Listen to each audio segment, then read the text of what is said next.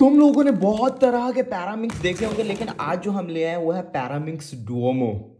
तुम लोग सोच रहे होगे कि आखिर ये भाई इस बॉक्स के अंदर पहले से ही स्क्रैम्बल्ड क्यों है भाई? मैं पहले ही इसको स्क्रैम्बल कर चुका हूँ, मैं इसको अनबॉक्स कर चुका हूँ पहले ही एक लॉन्ग वीडियो में, जिसका लिंक पिन कमेंट में है और अब इस शॉर्ट वीडियो के ज़रिए मैं उस लॉन्ग वीडियो पे व्यूज़ लेकर जाना चाह रहा हूँ, ठीक है? यार बस मुझ जैसा ईमानदार बंदा कोई नहीं है। अगर वो लॉन्ग वीडियो देखनी है तो पिन कमेंट देख लेना और इसको मैं आज तक सॉल्व नहीं कर पाया क्योंकि कोशिश ही नहीं की। ये बाकी पजल से जैसे कि अगर मैं बात करूँ